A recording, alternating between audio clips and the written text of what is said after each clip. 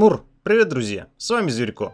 Неожиданно разработчики выпустили Linux, и как с Linux часто случается, забыли донастроить ее. Хотя, судя по обновлениям, Whale уже давно готов. Ну что же, это зеленый гайд на Linux, поехали! Большинство магов в ML на данный момент прокастеры, чья задача влить свою комбу в противника. С Linux же ситуация другая, это маг-спамер, она постоянно поливает противника заклинаниями, а в перерывах наносит урон с руки. Попробуем из этого извлечь выгоду в билде. О навыках. Пассивка. Поворот мечты. У Linux нет сокращения навыка от предметов. Единственным исключением служит пассивка предмета «Мимолетное время». Когда вы берете, например, магические сапоги и получаете условные 10% КД навыков, начинает работать пассивка. Когда сильна светлая сторона, это две желтые точки над персонажем, за 10% КД вы получаете плюс 20 к магической и физической защите. А если темная, то плюс 15% пробития. Что любопытно, в настоящий момент ограничения в 40% КД для Linux нет. То есть вы не ограничены 80 единицами защиты от пассивки и 60 пробития. К слову, Большого толка от мимолетного времени я не вижу, поскольку навыки и так достаточно быстро перезаряжаются. Для переключения склонности к той или иной стороне не обязательно колдовать по врагу, можно просто в воздух. Первый навык – Звездный пульс. Склоняет к светлой стороне. Люнокс, подобно Рафаэль, наносит урон по всем противникам в области. Кроме урона, она еще получает и исцеление, притом не слабое – который еще и увеличивается, если попадаете по героям. Этот навык позволяет спокойно стоять на линии, не убегая за лечением, если противник вам сильно не досаждает. Массовый спел и фарм навык, КД 2 секунды. Второй навык – нападение хаоса. Склоняет к темной стороне. Люнокс выстреливает снаряд в противника, который не только наносит стандартный урон, но и сверху снимает 5,5 от максимальной хп противника – Плюс к этому накладывает замедление. Это спел соло боя, перезаряжается вместе с первым навыком, соответственно КД тоже 2 секунды. Третий навык.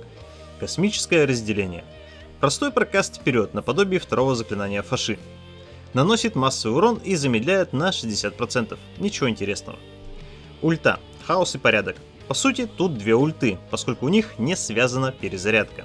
Если активируем ульту при светлой стороне, Люнокс превращается в энергетический неуязвимый сгусток и может спокойно перемещаться.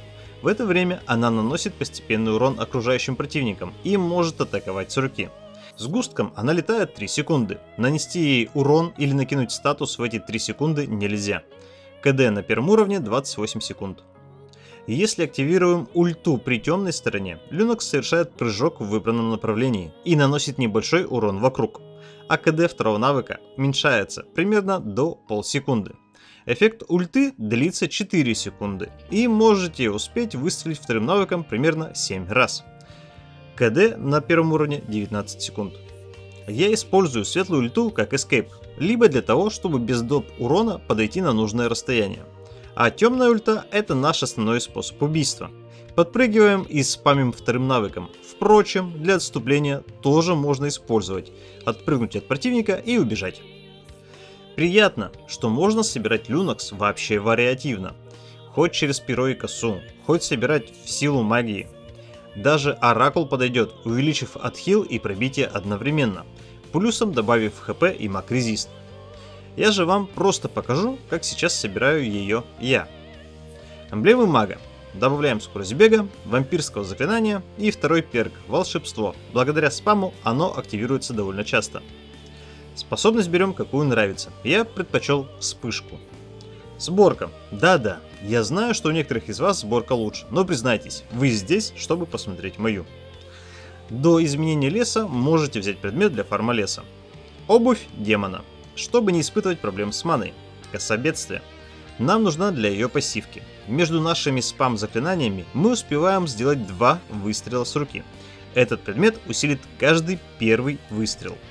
Охранная реликвия. Неожиданно рано, но ее пассивка даст хороший прирост урона. Ожерелье заточения. Антихил. Поскольку мы не прокастеры, а наносим по сути постепенный урон, нужно уменьшать излечение противника. Тем более, само ожерелье увеличит наше собственное исцеление.